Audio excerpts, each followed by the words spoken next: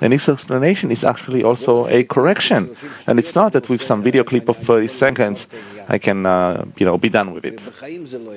That will never help.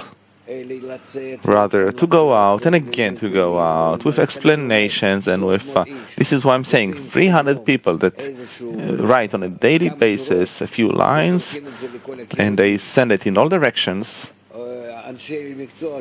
and our uh, professional writers, you know, will, will write, and everybody else will like, will do likes on what they write, and when you push it into the net, then in the end, bit by bit, we'll fill up the net with our materials, and it then starts working because the upper light is also working through that. If I do not continue uh, pushing things as, into the net as much as I can, I'm not causing my correction, not doing my part in the correction. So then I also do not advance. Look what I do with my blog. Every day there are like 10 posts there or something, and announcements and all kinds of things. Why do I do it? What? I'm, I have to pour all these materials there? And I invest in that, I don't know, two hours a day. Rather, because this is the work. This is the work.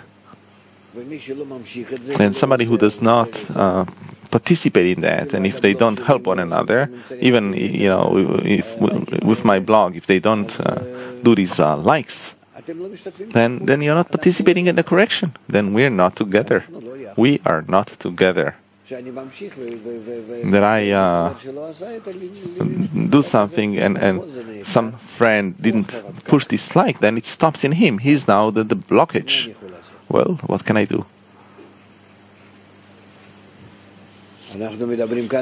We are talking here about how uh, we might reach another Holocaust or how we can reach the correction or or some advancement towards revelation? What are we even talking about?